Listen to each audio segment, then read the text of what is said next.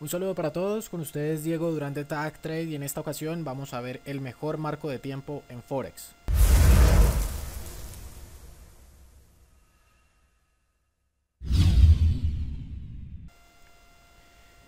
Para encontrar el mejor marco de tiempo, no sé si les haya pasado alguna vez, que tienen nueve diferentes marcos de tiempo, una gran variedad de instrumentos o activos financieros y no saben por cuál marco de tiempo definirse en todos los marcos de tiempo que te la pasas eh, viendo el instrumento o el activo financiero en particular, resulta que en ese marco de tiempo particularmente está en rango, en un siguiente marco de tiempo está en tendencia bajista, en otro marco de tiempo vuelve a estar en rango, en otro marco de tiempo más pequeño quizás está en una tendencia alcista. Entonces confunde un poco este tema y al momento de operar o al momento de ejecutar cualquier tipo de operación, normalmente las personas, sobre todo las personas que están comenzando en esta industria, en este negocio, tienden a equivocarse o a enredarse y confundirse un poco en estos marcos de tiempo, en la apreciación de los mismos y en poder encontrar una operación con bastante probabilidad de acierto. ¿Cuál es la idea detrás de los marcos de tiempo? La idea detrás de los marcos de tiempo es la fractalidad, es decir, poder ir desde un marco de tiempo más grande a un marco de tiempo más pequeño, es decir, de lo macro a lo micro y poder encontrar una entrada siempre favoreciendo los marcos de tiempo mayores. ¿Por qué? Porque los marcos de tiempo mayores siempre van a predominar sobre los marcos de tiempo, sobre los marcos de tiempo menores.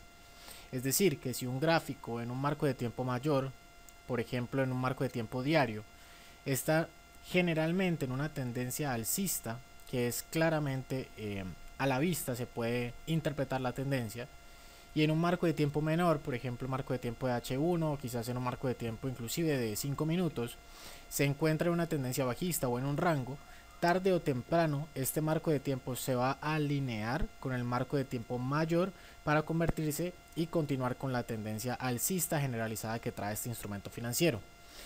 En otras palabras, lo que les vengo diciendo es que quizás muchas personas se pueden confundir con esto. Estamos viendo por ejemplo el euro neozelandés marco de tiempo diario y vemos de primerazo, como lo podemos ver, sencillamente estamos en un rango en este marco de tiempo. No hay una tendencia eh, definida que sea clara para los ojos a simple vista. Ya si entramos un poco más al detalle, un poco más a la minucia, pues podríamos determinar cualquier tipo de movimiento eh, probable que está haciendo el mercado en este momento. Pero simplemente a simple vista no podemos determinar que hay una tendencia clara. ¿Qué pasa entonces? Vamos a un marco de tiempo menor, quizás a un marco de tiempo de H4 y vemos ya un poco más clara esta tendencia alcista que trae. Un impulso bastante fuerte, un rally bastante fuerte alcista. En este momento están eh, haciendo eh, alguna corrección, un pequeño banderín para quizás continuar con la tendencia alcista. Entonces ya podemos definir de pronto en este marco de tiempo que es una tendencia alcista. Pero ¿qué pasa? Si hoy de pronto un marco de tiempo mucho menor, de pronto un marco de tiempo de 5 minutos, ¿Qué veo en esta parte del gráfico? Una tendencia bajista. Entonces ahí es donde viene quizás la confusión de en qué marco de tiempo debo operar, cuál es el mejor marco de tiempo para mí. Y la respuesta es muy sencilla, todo depende. ¿Depende de qué? Depende de tu forma de operar, depende de tu forma de hacer trading. Porque recuerda que a marcos de tiempo menores va a ser menor o vas a buscar menores recorridos del precio, es decir, menor cantidad de pips y a un marco de tiempo mayor vas a buscar mayor recorrido del precio, mayor cantidad de pips. Asimismo, en un marco de tiempo mayor, ten en cuenta que el stop loss es mucho más grande, obviamente en términos de pips, no quiere decir que sea más grande en términos de riesgo porcentual de tu cuenta.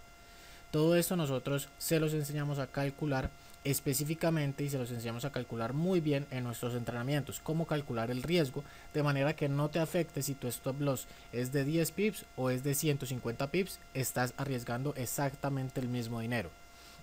¿Qué pasa entonces? Depende de tu forma de hacer trading. Si eres un trader eh, scalper, un trader quizás intradía, un trader que va por pocos eh, pips, por un movimiento bastante corto del precio, pues te favorezcan más los marcos de tiempo menores, quizás marco de tiempo de, bueno, el marco de tiempo de un minuto, se lo recomiendo un poco más a las personas que les guste operar noticias, eh, pero a partir de marco de tiempo de 5 minutos, 15 minutos, 30 minutos y hasta una hora, es quizás para las personas que son scalpers o traders intradía. Marco de tiempo H4 y diario, quizás para las personas que hacen un poco más de swing trading. y marco de tiempo semanal y mensual ya para las personas, los tipos de traders que se llaman position traders, es decir, los traders de posición, traders que aguantan una operación a mucho más eh, largo plazo. Entonces todo depende de tu operativa, de tu forma de ser, si puedes aguantar una operación de un día para otro, algunos días, o quizás te guste operar simplemente en minutos o en cuestión de horas. Todo depende entonces de ti y de tu forma de hacerlo. Sin embargo, como tip, ¿qué les puedo recomendar? Si por ejemplo, o, en mi caso particular, simplemente invierto en marcos de tiempo diario, H4 y H1.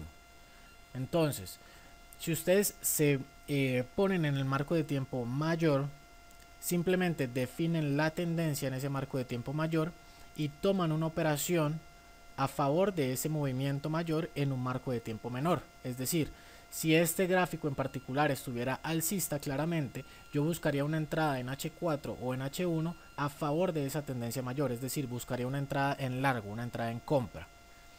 Asimismo, para las personas que quizás sean eh, intraday traders o scalpers, pueden hacerlo, quizás en su marco de tiempo mayor ya no va a ser diario, sino que va a ser H1 y pueden buscar una entrada a favor de este marco de tiempo mayor en los marcos de tiempo de 15 minutos o inclusive 5 minutos puede ser muy buena idea ya específicamente dónde encontrar el punto perfecto para hacerlo, la zona perfecta para hacer esta compra, para hacer esta venta, dependiendo de tu operación, dependiendo de tu análisis, eso se los enseñamos específicamente a hacerlo en nuestros entrenamientos. Recuerden que tenemos entrenamientos presenciales, entrenamientos virtuales, donde les explicamos cómo encontrar estas zonas de probables operaciones alcistas con, o bajistas con gran alto porcentaje de acierto y mucha probabilidad. Espero entonces les haya gustado el video de educación continua para esta semana.